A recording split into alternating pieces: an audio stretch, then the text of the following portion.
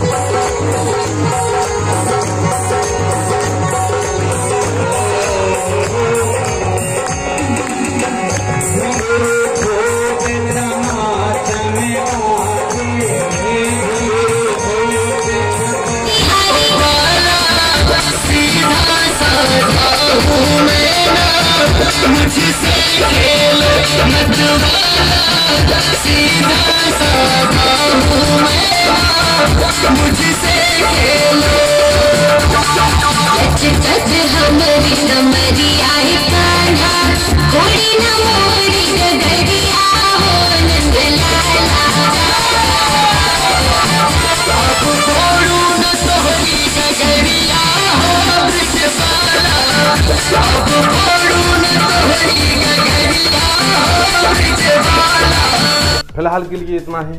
बुंदेलखंड की ताज़ा तरीन तमाम खबरें देखने के लिए बने रहिए बुंदेलखंड एक्सप्रेस न्यूज़ के साथ।